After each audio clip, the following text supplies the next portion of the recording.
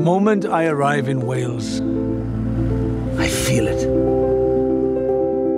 An energy, an emotion, a stirring of my soul. It's hard to put it into words.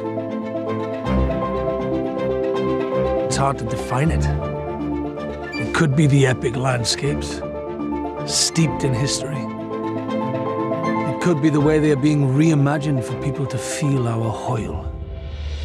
Hwyl, exhilarating moments in time that last forever.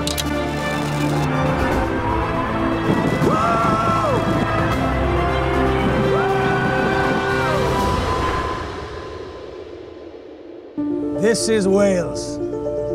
Check in.